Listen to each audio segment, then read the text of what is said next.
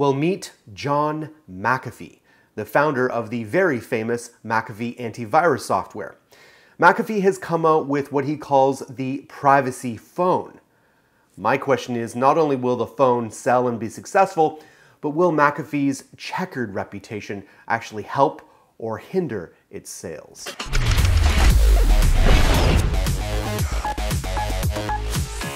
Now, before we get too far, we should remember that in most justice systems, people who are charged with crimes are innocent until proven guilty. John McAfee has been accused of some very serious crimes by the Belizean police. He lived in Belize for a number of years, and instead of standing uh, against those uh, accusations in court, he chose to flee Belize and came back to the US. Doesn't look good on him. Say what you will about the Belizean justice system, I don't know. But if you don't know who John McAfee is, here's a quick rundown. McAfee is best known for founding McAfee Associates in 1987, which released the first commercial computer antivirus software, also called McAfee. He left the company he founded in 1994, and since then, he has put money into a number of other tech ventures as well as other investments. He also lived in the country of Belize for several years, and in 2012, he came into the spotlight again when Belizean Police Department started searching for him as, quote, a person of interest in the murder of one of his neighbors. Gregory Viant Faull. McAfee decided to flee the country instead and ended up back in the US, where he still lives today. In 2016, a documentary on Showtime Cable portrayed McAfee as a wild and crazy person. It alleged that he was involved in not one, but two murders, and that he engaged in rape, drug use, and more criminal activities. McAfee denied the portrayal of himself and said that he was going to sue the filmmakers. It's safe to say, however, that McAfee is not your normal button down tech geek no matter which version of the man you believe is real. Now let's talk about his privacy phone.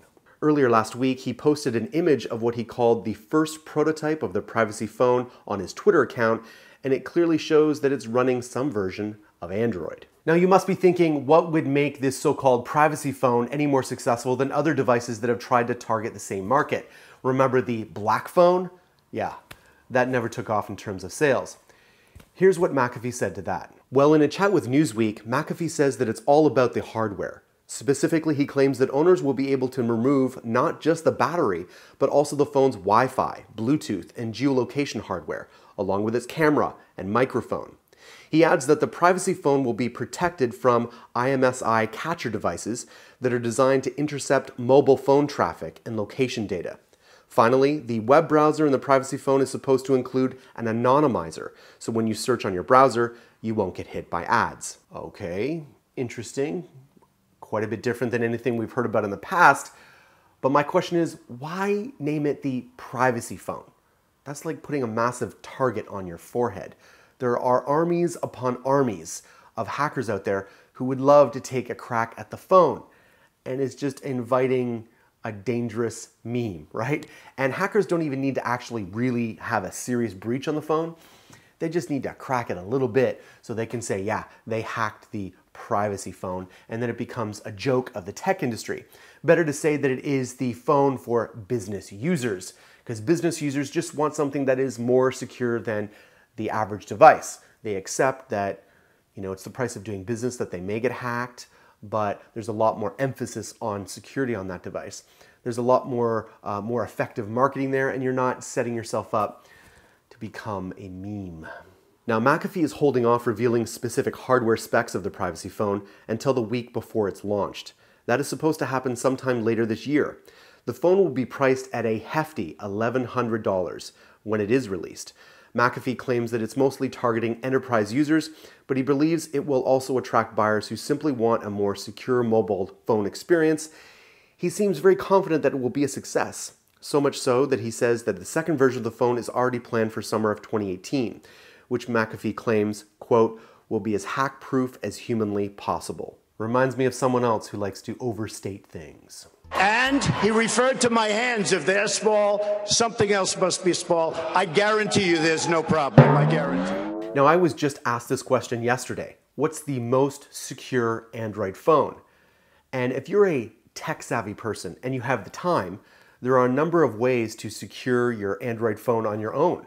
if you want to root your phone, there's a whole bunch of resources out there. You can go to XDA Developers, and they have a, number of different options. If you're willing to take the time to have granular control over your device, you can do that, but it's time consuming, and it's definitely not user friendly for the average Android user out there. So there is a market for a more business, secure, focused phone out there.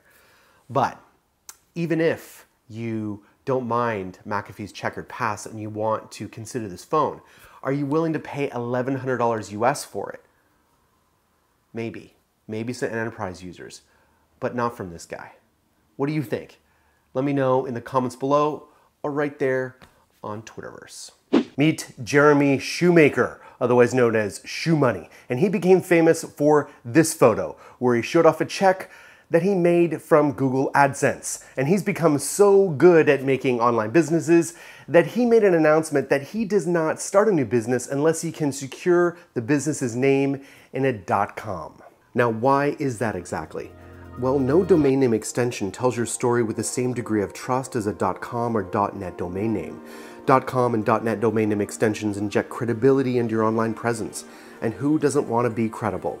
And don't forget, you get 15% off when you use our coupon code ANDROID. When you think domain names, think domain.com.